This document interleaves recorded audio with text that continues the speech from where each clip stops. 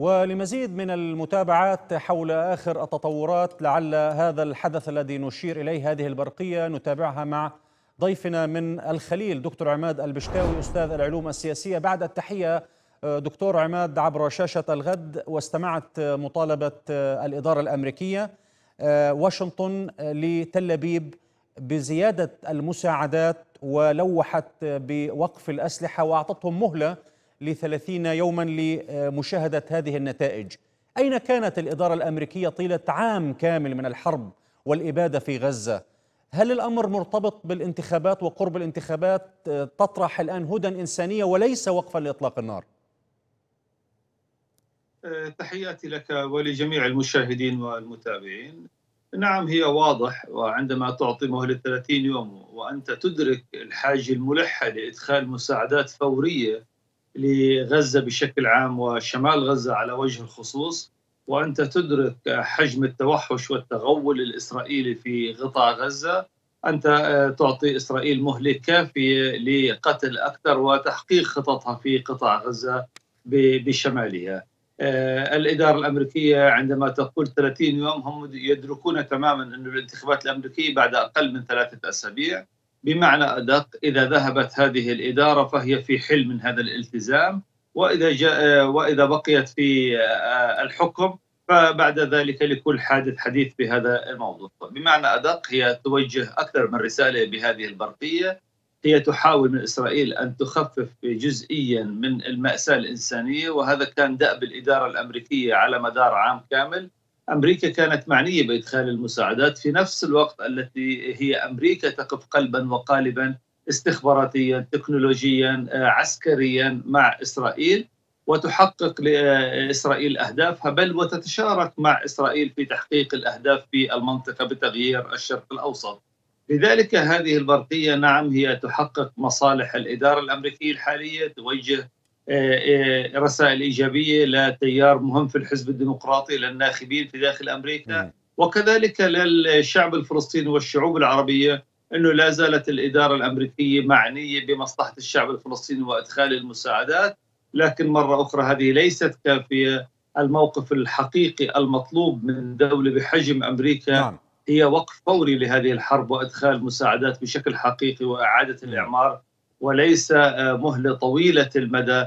تستطيع إسرائيل أن ليست هدى تدمر وليس تحقق إنجازات. وليست هدى إنسانية أمام ما يعتبر بأنها صحو الضمير أليس كذلك؟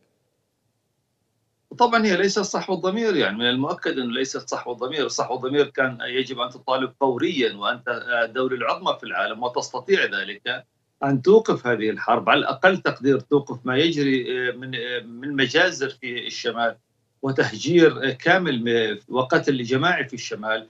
تستطيع الآن أن توقف. أما أن تعطي القاتل 30 يوم فهي فترة كافية ليس فقط لتدمير الشمال لتدمير غزة بالكامل. نعم واليوم الثاني عشر على التوالي في المجزرة المتواصلة ومحاولة فصل الشمال فعليا عن مدينة غزة في ارتكاب المجازر التي لم تتوقف طيلة عام كامل والأسبوع الثاني الذي تدخل فيه هذه العملية في شمال القطاع. كمتابع دكتور مع بعض هذه التصريحات والبرقية كيف تلحظ الاتجاهات الآن العملياتية على الأرض؟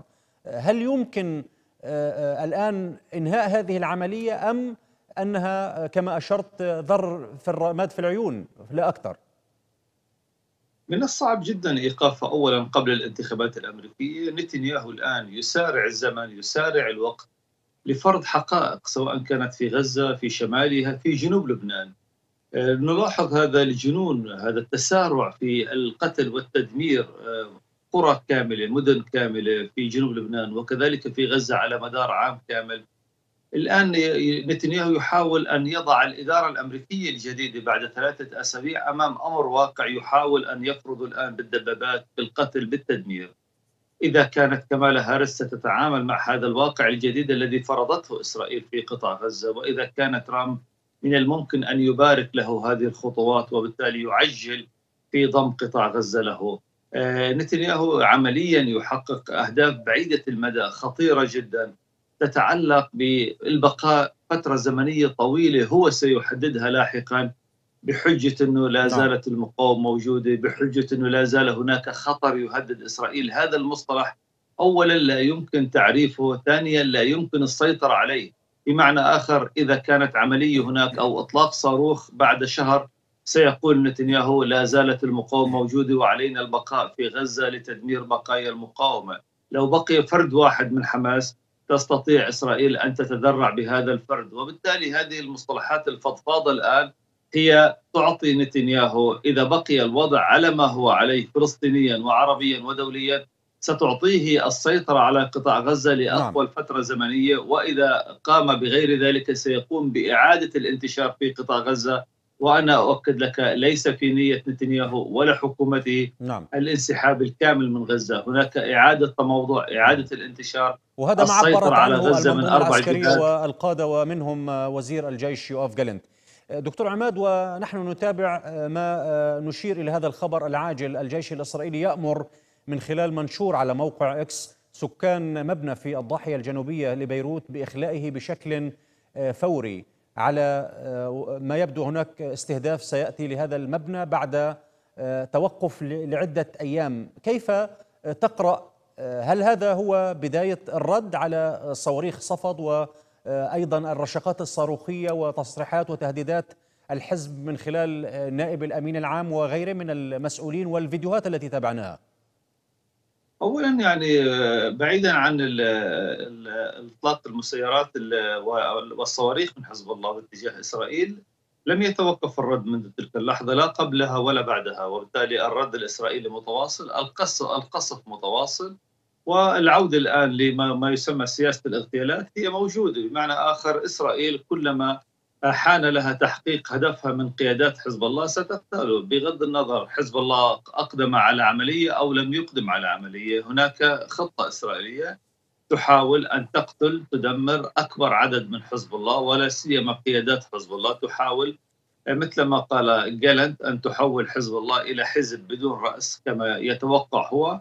لكن هم لا يدركون حزب الله هو عبارة عن آه، عشرات آلاف المقاتلين وبالتالي أنت لا تستطيع باغتيال هنا أو اغتيال هناك أن نعم. تشتت هذا الحزب لا سيما من منطقة الجنوب وفي آه، الشريحة مهمة من الشارع اللبناني هم شريحة الشيعة وبالتالي عمليا يعني نتنياهو وجالنت يدركون ذلك أنه هذه الاغتيالات ستزيد قوة الحزب وشراسة الحزب ولا نختلف فيما أنه الحزب ليس حماس في غزة الحزب هو في دولة حدودها مفتوحة إيران ترمي بثقلها بشكل كامل. يعتبر حزب الله عضويا ذراع رسمي لإيران في المنطقة. م. إيران لن تتخلى عنه بالعكس ستزيد من قوته لأن هذا استنزاف لإسرائيل لكي على الأقل تبقى بعيدة عن محاولات جر إلى إيران لهذه الحرب.